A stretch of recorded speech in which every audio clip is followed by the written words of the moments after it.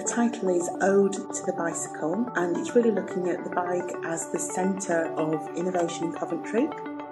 Um, so it's kind of a celebration of what the bike has meant to the growth of Coventry and how really it inspired lots of other innovations that came after it. So it's got three explorers and basically they're powered by um, the imaginations of local people. There was a massive industry in watchmaking, clockmaking, sewing machine manufacture, but the bike itself led to you know, the motorbike, the motorcar, various other engines. I think now Coventry's got a great reputation for other innovations at the university and research around virtual reality and augmented reality. And really, the whole piece is about inspiring people to dream, to think big, to be creative, and to recognise the creativity that's all around them in the city.